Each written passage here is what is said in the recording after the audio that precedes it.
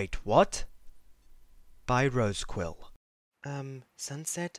A quiet voice asked.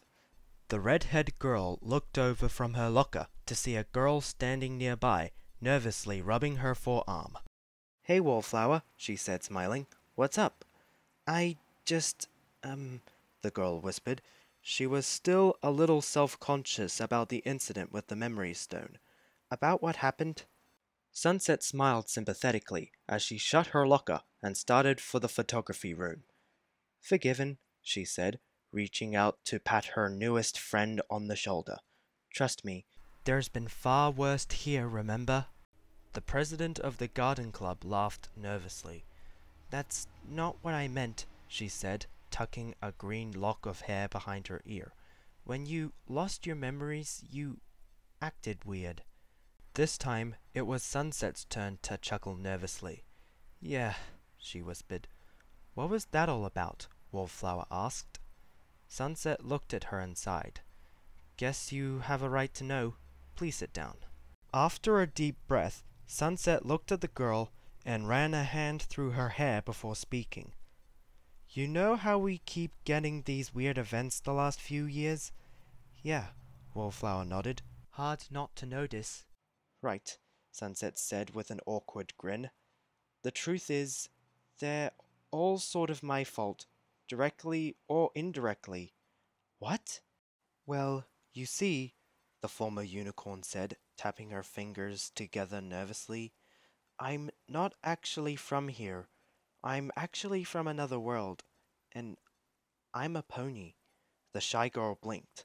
Wait, what? Sunset rubbed her forearm, face turning red. I'm from the world that the stone is from, and it's a world full of talking ponies. She looked down. About six years ago, I fled that world and came here. The next time I was able, I went back and stole a magic relic, and accidentally infused this world with magic from mine. That's why we changed the way we did when we defeated you. Is that why you seemed so confused? Wallflower asked. Part of it, Sunset replied. You didn't just erase high school. You also grabbed a few weeks prior to me running away. The redhead looked at her hands, remembering how shocked and scared she had been in those few moments.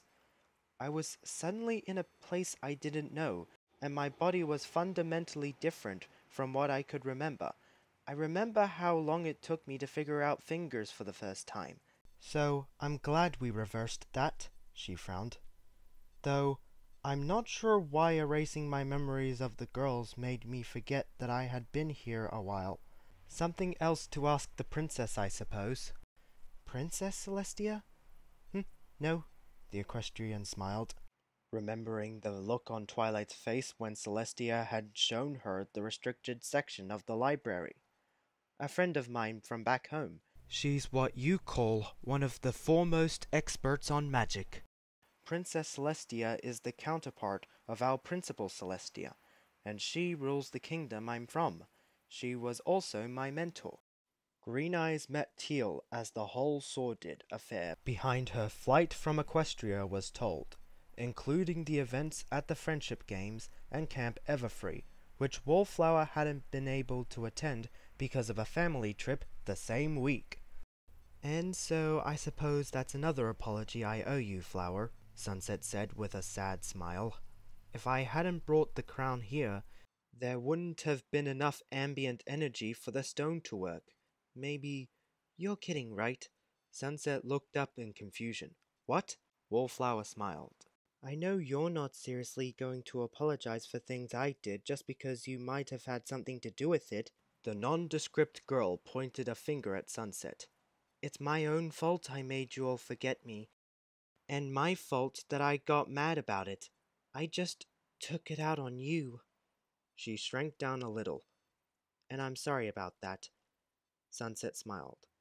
Don't worry about it, she said, brushing her lap before standing. We've all forgiven you, and the stone has been destroyed. It can't replace the memories you erased over the years, but we can form some new ones, yeah? The green-haired girl fingered the small chip of stone on a chain hanging from her backpack. Yeah. Still holding on to that, huh? Sunset observed. For now, yeah, Sunset nodded. Makes me remember that not all things are better if forgotten. Better words haven't been spoken, Sunset agreed. There were times that I wished I could erase what I've done. But then I remember even the bad times have led me to now and helped me get the friends I have. She glanced at the shy girl as they headed for the door. And then, friends you have now. I'll try to remember, Wallflower whispered, no pun intended. She glanced down momentarily. Sunset? Hmm? Would you mind horribly if I asked you some more questions about where you're from? She blushed. It sounds like a pretty amazing place. I'd like that, actually, the redhead agreed. I've been back twice now in happier times, and made amends for my actions, even being forgiven by Celestia. That alone takes the sting out of remembering things. She frowned. What? Wallflower asked. Sunset shook her head, pulling a heavy-looking tome from her messenger bag and pen. As she started to write in what was apparently a journal, curiosity got the better of her. What's that? Sunset looked up as she closed the book, sliding a hand over the cover before slipping it back into her bag. It's how the Princess Twilight and I stay in touch.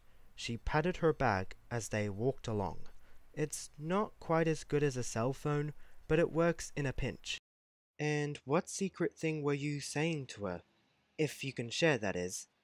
Just a trend I've noticed lately. Before she rigged the portal, it was only open for three days every thirty moons, and now it turns out that the memories erased by the stone could only be restored within three days. She shrugged. I'm just wondering if there's some significant symbolism between the number three, because it seems everything comes in three lately. Your episode is the fifth event since I stole her crown. Worried if another shoe was going to drop? Sunset nodded. I also asked her why we're so prone to singing. Ponies sing a lot? Sunset laughed. A lot, please. She turned her brilliant grin on her newest friend. In Canterlot Castle, every Tuesday at three, the entire staff would break out in song like clockwork.